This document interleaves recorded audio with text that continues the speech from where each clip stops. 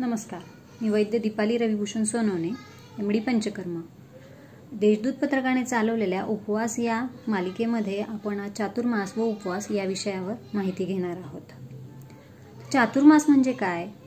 तर देवशयनी एकादशी म्हणजेच आषाढी एकादशीपासून प्रबोधिनी एकादशी म्हणजे कार्तिक एकादशीपर्यंतचा काळ होय ज्याला आपण चातुर्मास म्हणतो. आता हा चातुर्मास कशासाठी का करायचा यामध्ये का व्रतवैकल्य आली याविषयी आपण थोडी माहिती बघूया. तर चातुर्मास मी सांगितला तसा देवशाहिनीपासून प्रबोधिनी एकादशीपर्यंतचा काळ. त्या काळामध्ये सर्व वातावरण हे पावसाळी असते. हवा ही कुंद असते. हवेमध्ये आर्द्रता खूप जास्ती असते. त्याचबरोबर वातावरणामधल्या आर्द्रता आणि कुंदपणा आभ्राच्छादित सतत ढगाळलेलं वातावरण याचा परिणाम आपल्या अग्नीवर. अग्नी म्हणजे पचनशक्तीवर होत असतो. आणि ती पचनशक्ती मंदावते. ती पचनशक्ती मंदावल्यामुळे आपल्याला भूकही मंदावते. आणि भूक मंदावलेल्या अवस्थेमध्ये देखील आपण जर रोजचं जेवण किंवा रोजचाच आहार घेत राहिलो तर त्याचा परिणाम नक्कीच आपल्या अग्नीवर होतो व त्यामुळे विविध त्रास विविध व्याधी हे उद्भवतात.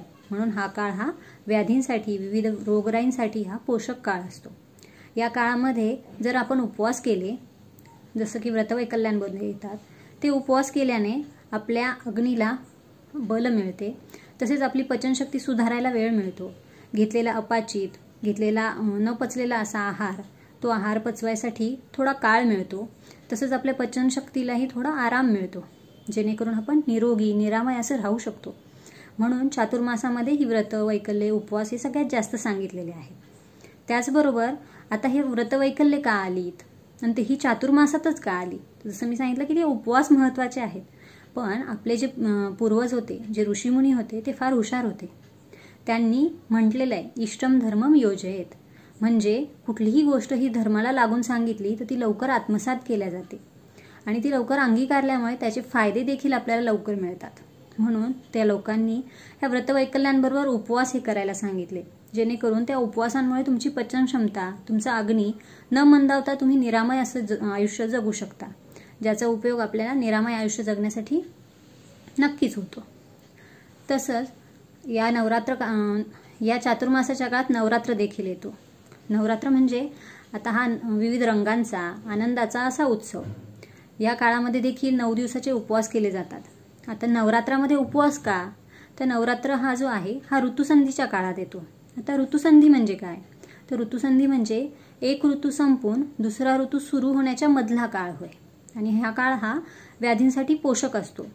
कारण काय? तर एक ऋतूचे जे लक्षणं आहे ते कमी होऊन दुसऱ्या ऋतूची लक्षणं सुरू होत असतात. आणि वातावरणातला हा बदल हा नक्कीच आपल्या शरीरावर परिणामकारक होतो. आणि त्याच्यामुळे आपल्या अग्नी म्हणजे जसं पचनशक्ती ही मंदावते. आणि त्याच्यामुळे परिणामता व्याधी हे उद्भवत असतात.